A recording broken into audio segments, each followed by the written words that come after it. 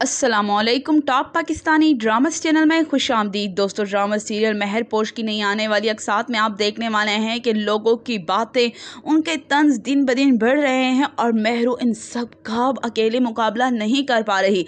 लेकिन शाहजहाँ का साथ ही एक ऐसा साथ है जिसकी वजह से महरू इन सब लोगों को जवाब दे सकती हैं, उनकी आँखों में आँखें मिलाकर उनसे बात कर सकती हैं। दोस्तों, जैसा कि आपने देखा कि शाहजहाँ ने महरू को अपनी होने वाली बीवी कह दिया है। और ये सब सुनकर जहाँ महरू हैरान रह जाती हैं तो वहीं पर शाहजहाँ को इस बात से सुकून मिल जाता है कि चलो, उसने महरू से अपनी मोहब्बत का इजहार तो कर दिया। लेकिन दोस्तों, आप ये भी देखेंगे कि महरू इस सबको सिर्फ़ हमदर्दी समझेंगे। लेकिन जब शाहजहाँ के मोहब्बत को देखेगी, तब उसे एहसास होगा कि वाकई में शाहजहाँ ही वो इंसान है, जिस पर वो एतबार और भरोसा कर सकती हैं। लेकिन क्या शाहजहाँ की अम्मी इतनी आसानी से ये सब होने देगी? कमेंट में अपनी कीमती राय ज़रूर दीजिएगा। शुक्रिया। शुक्रिया।